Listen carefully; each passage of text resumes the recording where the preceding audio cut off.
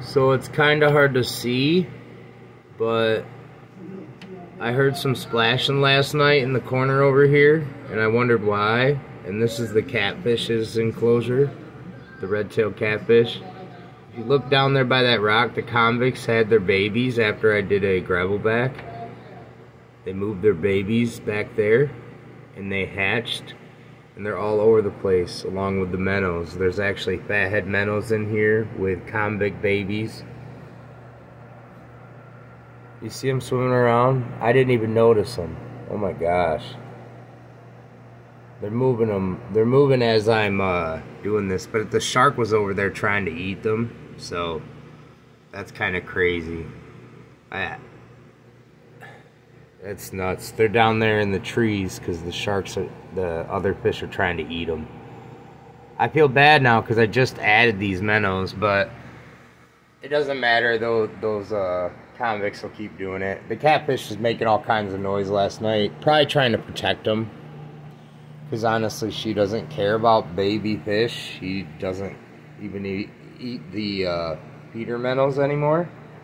Those are actually more just for my looks of the pond. I like to have a uh, smaller fish to clean up uneaten food. But, and to feed the ones that won't eat anything else, like the peacock bass that are from uh, wild caught from Brazil.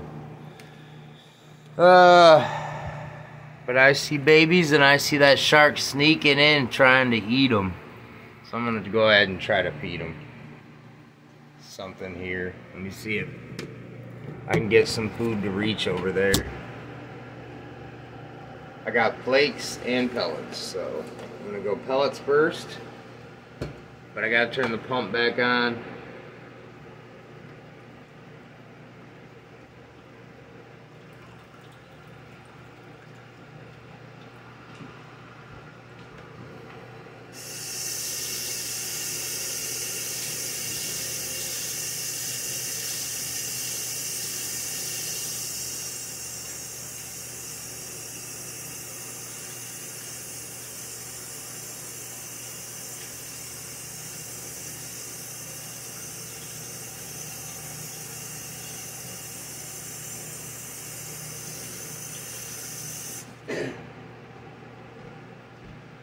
What sucks too is I don't have uh, any baby proof uh, filters in this tank. It's all just big giant open bore filters. So if a baby gets sucked in, it gets sucked in. But convicts, dude, that's crazy that they're even alive.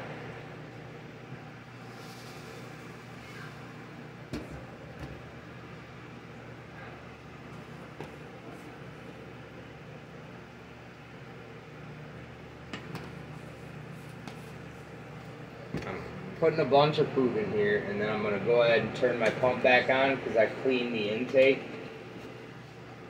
And then it's going to push the food around.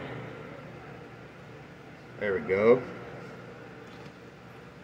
And that should give the babies plenty to eat along with the parents. Yep, and the shark. The shark actually likes it too. See, I made a pile here in the corner. And here come the little fish. And maybe those uh, convicts will get uh, good at blending in with the minnows and uh, getting to the food. Because minnows will all start flocking up towards the light to eat. It's pretty cool, actually. That's why I like to keep them stocked. And then I grab a couple every uh, every couple of days, and then feed these big guys out here. Except for him, he eats tilapia or worms or um, pellets. He actually likes pellets, but nobody else likes pellets in there, so it's hard to feed him. But yeah, I can't believe there's convicts, baby convicts in the pond. This is only a 150 gallon, so to have convicts, fathead minnows, a red-tailed catfish, and she's so big, she doesn't really like care, but she caught that shark eating them, and the pleco's probably been swooping in and trying to eat them. That's just crazy. Convicts always find a way, man. They were actually thrown in there as food, but not convicts.